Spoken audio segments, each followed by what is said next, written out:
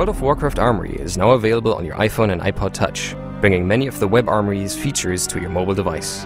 Let's check out some of the features the iPhone Armory has to offer.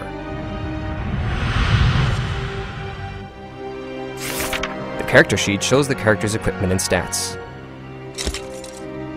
You can look up an item by tapping the tooltip's View Item Details button, which brings up additional info from the Armory database. The character sheet also includes the character's primary and secondary talent specs, as well as a talent calculator. Select talents by tapping them and use the plus and minus buttons to assign points to them.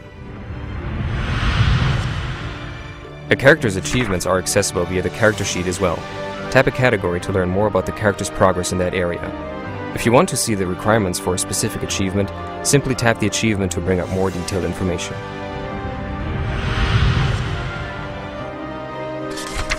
Now with real-time updates and reminders, the calendar allows you to keep track of in-game events and appointments on the go, so you'll never miss another raid.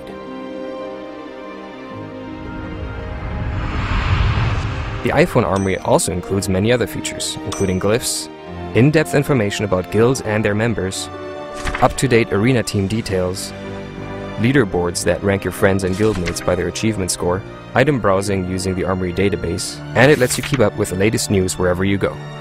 The World of Warcraft Mobile Armory.